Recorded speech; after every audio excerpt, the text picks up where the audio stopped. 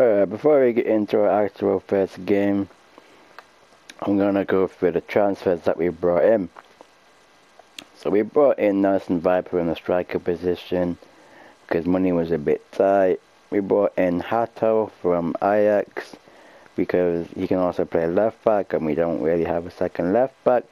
We brought in Guy from the for the right back position.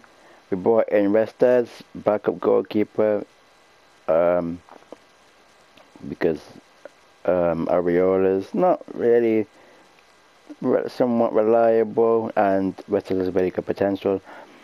Uh, we brought in Tamori from AC Milan, you know, he's a rock at the back.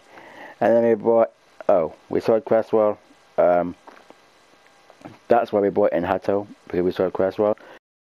And my boy Jadon Sancho from West from West Ham from United for 51 million and we sold Fabianski and we sold Bonner, and we sold some other guy or on loan. That's it.